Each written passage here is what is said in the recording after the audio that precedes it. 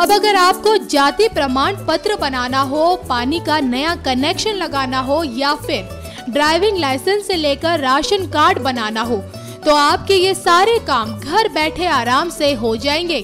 दिल वालों की दिल्ली को केजरीवाल सरकार ने बड़ा तोहफा दिया है। सरकार ने ड्राइविंग लाइसेंस समेत 40 सार्वजनिक सेवाओं का घर बैठे लाभ उठाने के लिए सक्षम बनाने वाली योजना अगले तीन से चार महीने के अंदर लागू करने की घोषणा की है, जिसे शासन की होम डिलीवरी कहा जा रहा है।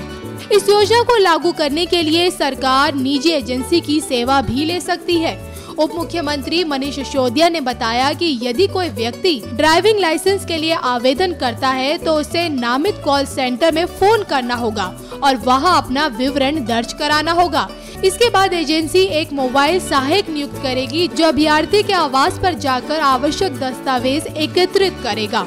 तो सरकार के इस होम डिलीवरी सेवा के लिए ग्राहकों से कितना शुल्क लिया जाएगा, ये तो साफ़ नहीं हो पाया है, लेकिन एक बात तो साफ़ है कि केजरीवाल सरकार की इस योजना से आम जनता को न सिर्फ़ लंबी लंबी लाइनों से छुटकारा मिलेगा, बल्कि घर बैठे उनके सारे काम पूरे हो जाएँगे।